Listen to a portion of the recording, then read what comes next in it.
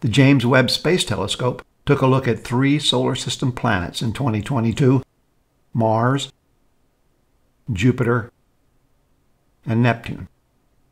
We'll start with Mars.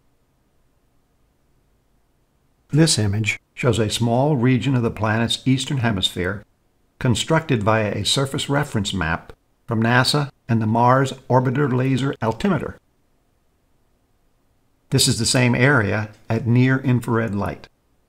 At this wavelength, the image is dominated by reflected sunlight and thus reveals surface details similar to those apparent in visible light images. The rings of Huygens crater, the dark volcanic rock of Syrtis Major, and brightening in the Hellas Basin are all apparent in this image. Here's a larger area. At mid-infrared, the image shows light given off by the planet as it loses heat. The brightest region is where the sun is nearly overhead. It decreases towards the polar regions. The northern region was experiencing winter when the data for this image was taken.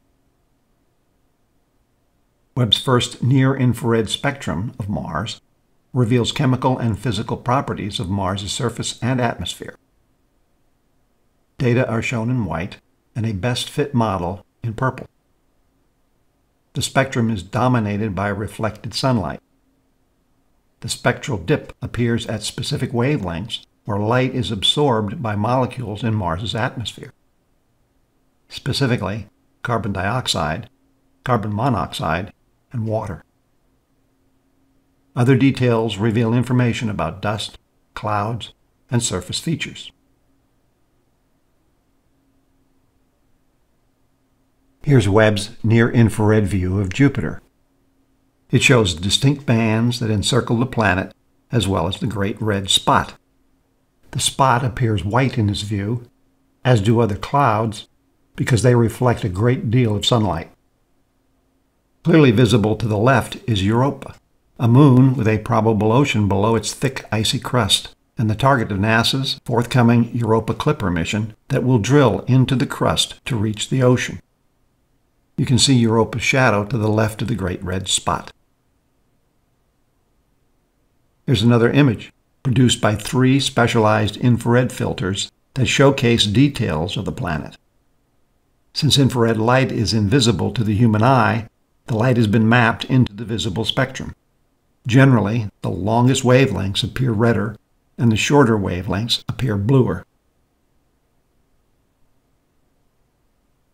In this view, you can see auroras extending to high altitudes above both the northern and southern poles of Jupiter. Note the diffraction spike from the southern aurora. You can even see Jupiter's faint rings, which are a million times fainter than the planet.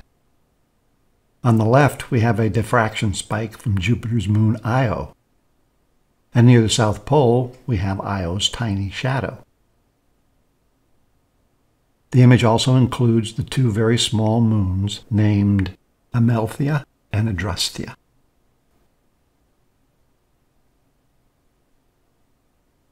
Here we are zooming into an image of Neptune and Triton, taken on July 12, 2022. Triton is a very bright point of light with the signature diffraction spikes seen in many of Webb's images. Covered in a frozen sheen of condensed nitrogen, Triton reflects an average of 70% of the sunlight that hits it. Triton orbits Neptune in an unusual backward retrograde orbit, leading astronomers to speculate that this moon was originally a Kuiper belt object that was gravitationally captured by Neptune. Additional Webb studies of Triton are planned in the coming years. Here we see six of Neptune's 14 moons. Webb's new image of Neptune also captures details of the planet's turbulent, windy atmosphere. Neptune itself is blue in visible light due to its gaseous methane content. But it is not blue in Webb's near-infrared view. Here we have a clear view of Neptune's rings. A previously known vortex at the southern pole is evident in Webb's view. In addition, the Webb image clearly shows the planet's fainter dust bands.